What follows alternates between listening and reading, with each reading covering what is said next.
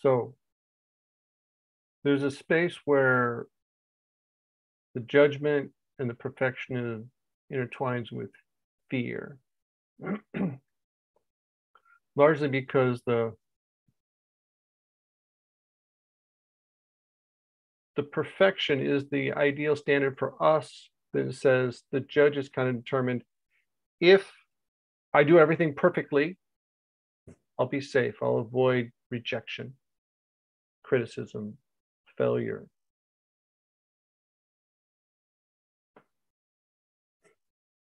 And so the judge has kind of been an accountant and has all this book book of laws, Miguel calls it, all these rules that we're supposed to follow to be perfect, because if we're perfect, we can avoid the painful outcome that we're afraid of.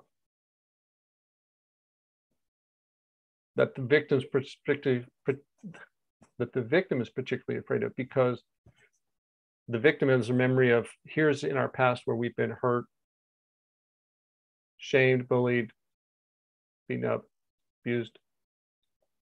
And so the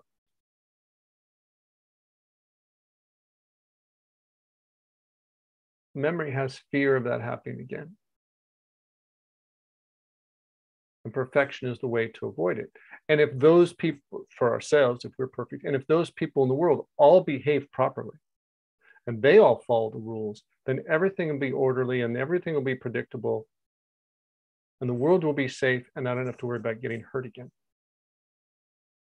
So, this is where we've talked about perfection as a protective strategy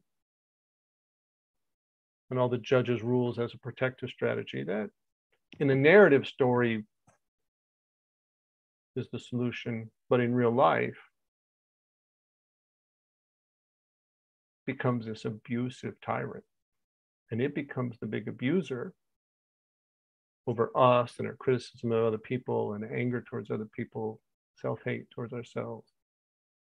This actually causes the very pains that it says it would be avoiding.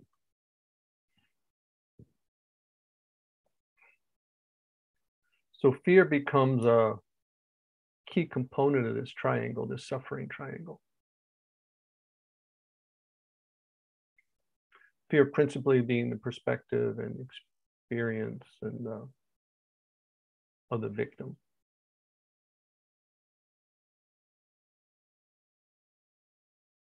and the victim having two two related components. One is the memory and, and the pain it's holding from painful memories, and two, the fear of it happening again. And so the victim has these two two roles. And then the judge kind of anticipating the future and how we have to navigate it and be perfect to avoid this pain again. And so fear acts as an alarm system. One of the things, and we can just talk about different things that fear is. but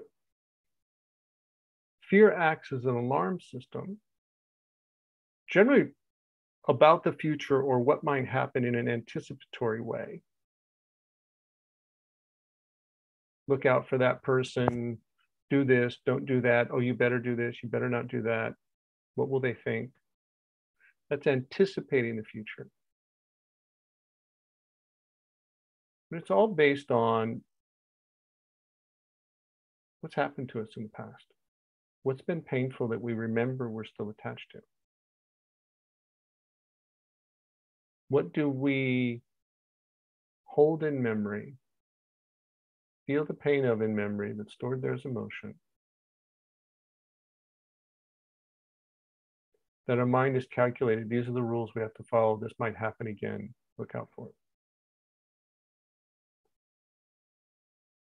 You know, if you ever touch a stove, you know, the next time you walk into the kitchen, you're looking at that stove like, uh, be careful. Shock my finger in a light bulb. It's like, okay, every light socket is like a little something in my nervous system looks at that situation goes, eh? I could be six feet away from it, but I feel it in my body, that memory of that pain or the shock. I, I'm not even close enough to touch it, but I see the cue, I see the stove, I see the light bulb socket, I see whatever it was. I think about it. I don't even have to be anywhere near something that was painful past. I just think about it. My body goes, shoot, that's what it felt like. And then judge and various characters start making strategies of rules about anticipating that it could happen again. This is what we should do and shouldn't do, and this is what we should have done. It makes all these rules.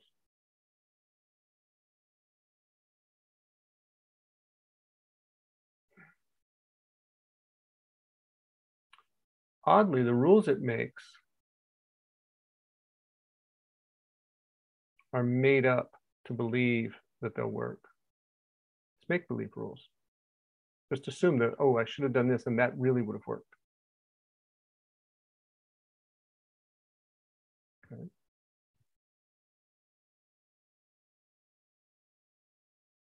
But not really it because different circumstance, different kind of person. Uh, talking to someone recently, and they they were dealing with this this settlement case, and they had hired an attorney, and they wanted an attorney to do something, but she's like, "I'm afraid I, I am uncomfortable asking my attorney to go do this and ask this question." I'm like, "Okay, well, let's." And we kind of exploring like well, what is it what is it you're asking? What would it be like? What if we do this? What if i get on the phone with you and i kind of help you you know talk you through it or you just know that i'm there some kind of support role? And she's like oh no. And boom her mind flashed back to being 12 in the principal's office and dad came in to you know kind of help straighten it out with the principal and it did not go well. And she's like oh no and she could feel this discomfort with the asking this attorney to do something, which is somebody she's paying. The attorney works for her, but she was uncomfortable asking the attorney because it's like, oh, I feel like that 12 year old girl, this is a person in authority. I've put them in that authority.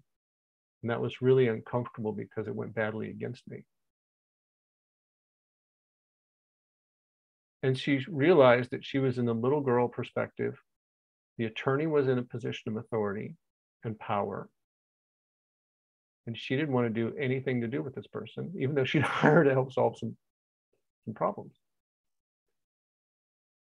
But as a 12 year old memory that was painful, this was a person in authority to be avoided. Therefore, don't ask these questions. Don't ask for help.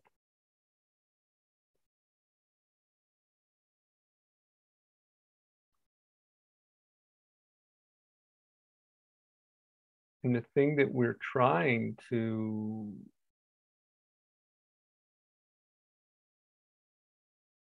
solve with the attorney is actually not about the attorney at all. It's actually about what happened to us that's a painful memory that we are afraid of feeling again, that our mind has anticipated. This looks like that scenario. Be careful, look out.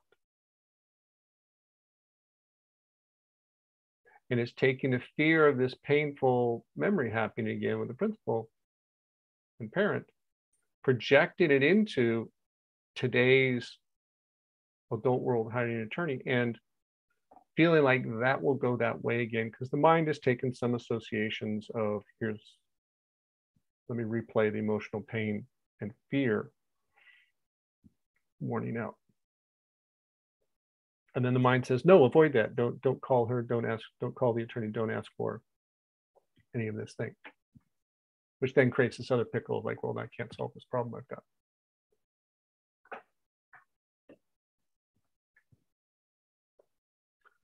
So that's the fear alarm system part of it. Certainly there's more parts of those fears. That's one component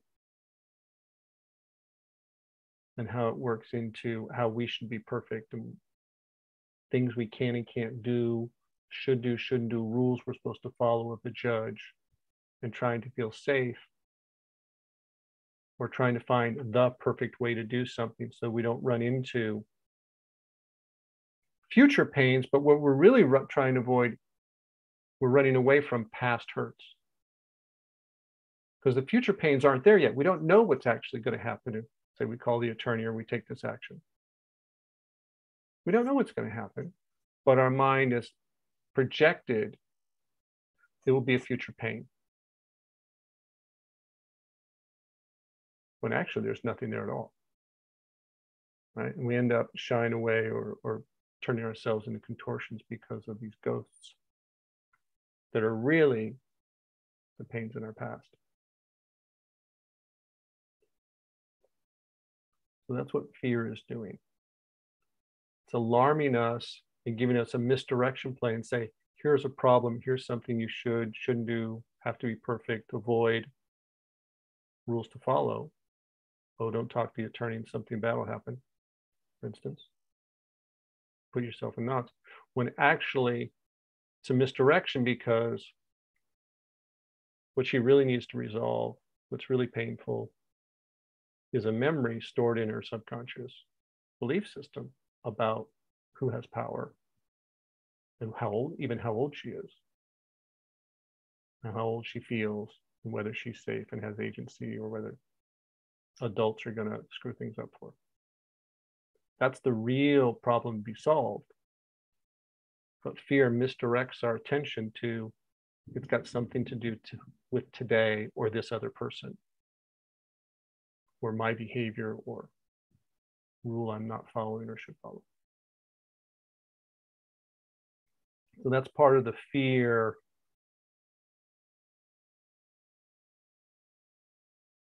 Distortion mechanism about how we see the world.